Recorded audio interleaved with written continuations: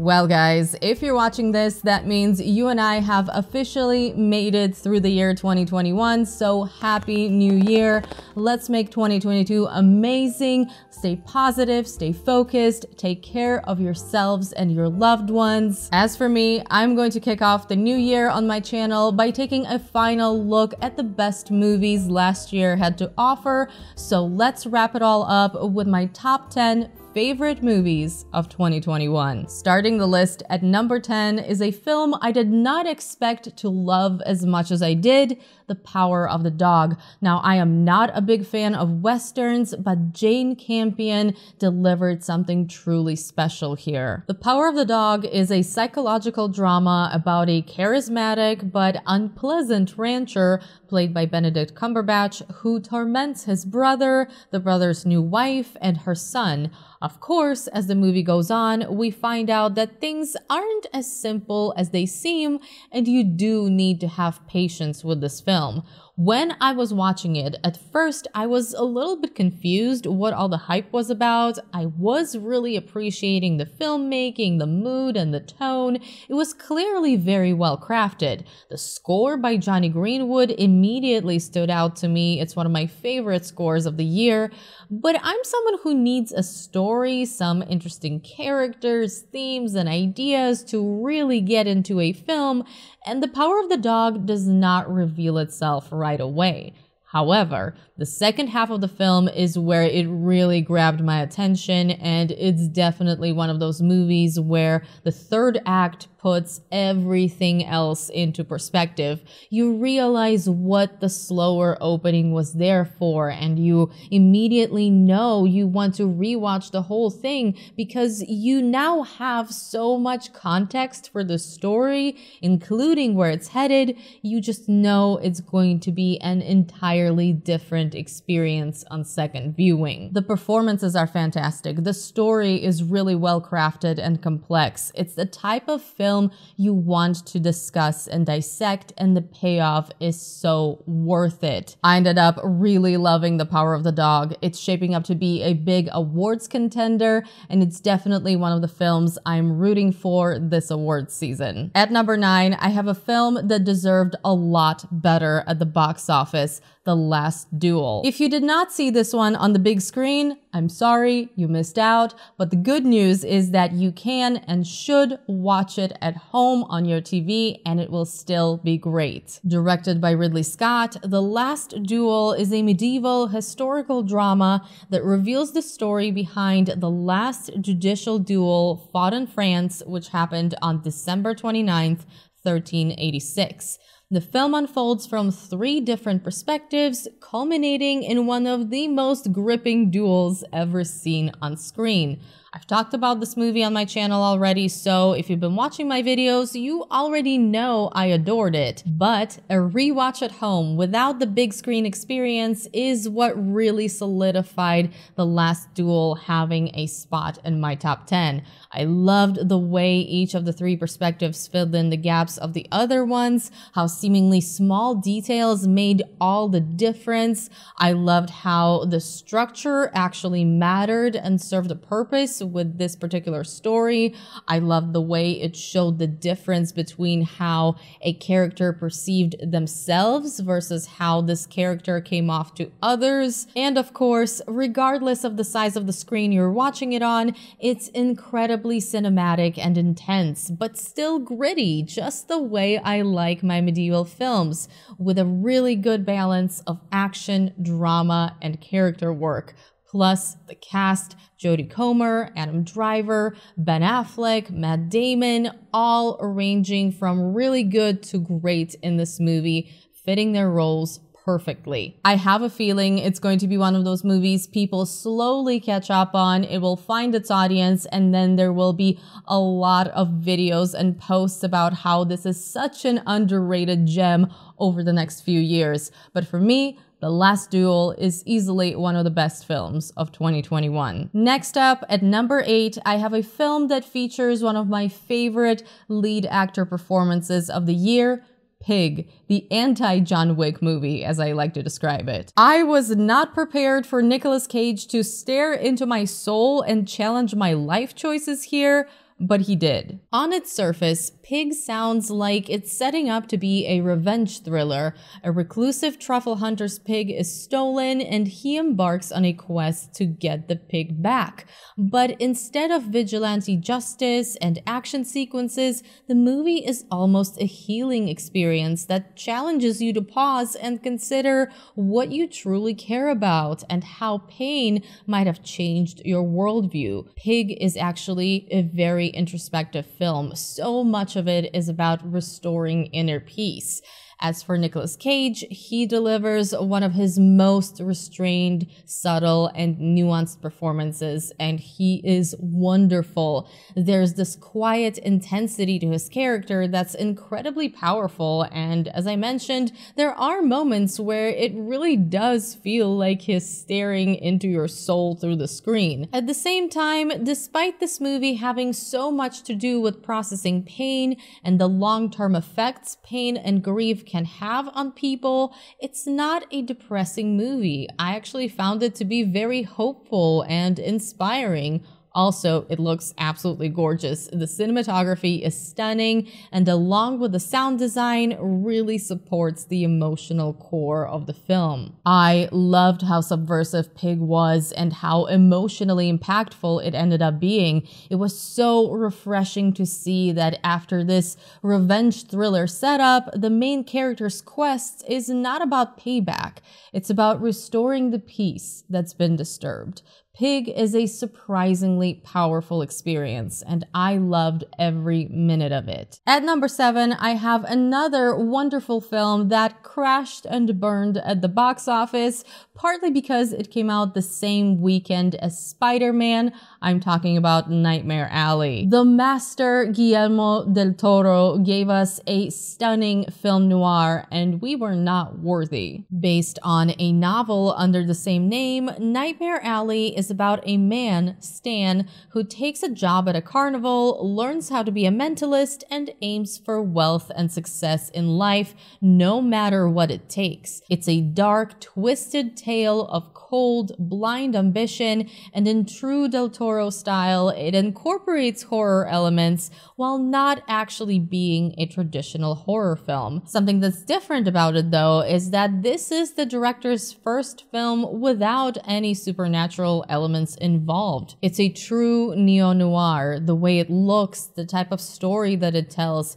the characters it features, including a striking femme fatale. If you love your films to be gorgeous but dark, exploring the unpleasant sides of humanity, Nightmare Alley is the film for you. It's a beautiful, seductive, sinister, mysterious, sexy noir drama, and I absolutely adored it. I will say you definitely feel the runtime because of the pacing, but for me, this was actually a good thing. I just wanted to stay in this atmosphere and this gorgeous 40s aesthetic for as long as possible. This movie could have gone on for another hour and I wouldn't have complained complained, especially with this amazing cast. Bradley Cooper, Rooney Mara, Toni Collette, Cate Blanchett, Willem Dafoe, Richard Jenkins, but I can see why some people might feel that it's too slow. I can't wait to add this movie to my collection and keep rewatching it though.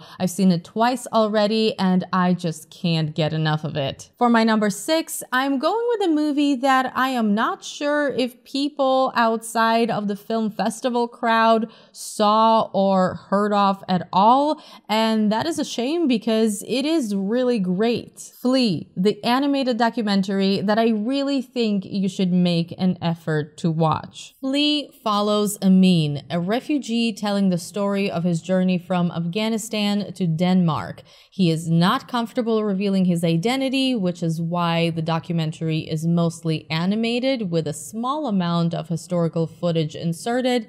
And this is the first time he shares his very powerful personal story. The film is outstanding, and I can't possibly imagine anyone walking away from this without being emotionally impacted. Some of it is, of course, heartbreaking, and it does get dark, but overall, this is a very inspiring documentary that is a testament to determination and human spirit all I wanted as I was watching it is for this guy to succeed and just be happy for the rest of his life. The style of animation they went with really worked for me as well, even though it's pretty minimalistic, it lets the storytelling be front and center and it feels very fitting. The story itself is absolutely incredible and very moving. I saw it for the first time at Sundance at the beginning of the year and it really stuck with with me all this time. And that's saying something because as you guys know, I do not watch a lot of animated films,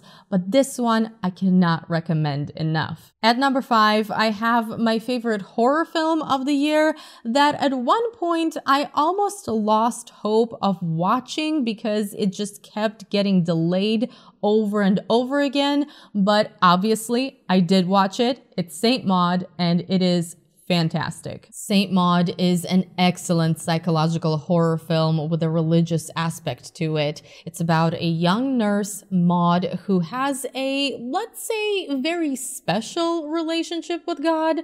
When Maud begins taking care of a former dancer, she becomes obsessed with saving this woman's soul before she dies. Do not mistake this for just another woman unraveling due to her religious upbringing type of horror film film, Saint Maud is a lot more interesting and unique than that. It truly lives up to that psychological horror label. So much of this film digs deep into its lead character to reveal trauma, loneliness, and an attempt to make sense of her life and the world around her, which are the things that ultimately turn her towards her interpretation of religion. It's a haunting story with an unforgettable lead performance tense and unnerving score and stunning visuals. It's a film that's going to make you question what's real and what isn't, but will also leave you with a lot to think about, something that may initially seem pretty open to interpretation, but once all the puzzle pieces fall into place, the picture is actually very clear. Saint Maud is another film that has been haunting me since the beginning of the year, and I will keep recommending it any chance I get. I do have a separate review of it that has a non-spoiler and a spoiler section where I talk a lot about the film's themes. So if you haven't seen it yet, check that out. I will leave a link to that in the info box below along with any other reviews of the films I'm talking about today. Coming in at number four is a movie I absolutely loved Obviously, it's at number four, but I considered not including it on this list at all because even though it made the festival rounds and it has been released in some other countries, its US release isn't until February. But then I thought for me and for the awards, this is definitely a 2021 film, and I might as well give you a movie to look forward to in the beginning of the year. So get ready for the worst person in the world because it is amazing. The worst person in the world is in fact not about a terrible person. It's a romantic comedy drama about a young woman trying to navigate her love life and vague career path.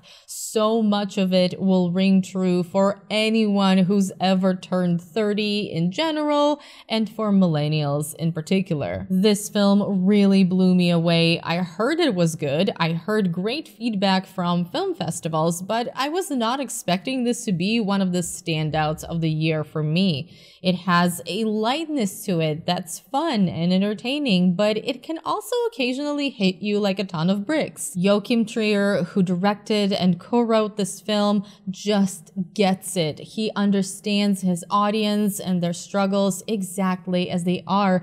It's honestly satisfying and painful to watch at the same time. The Worst Person in the World is a very easy film to recommend. I am oddly tempted to describe it as a crowd pleaser.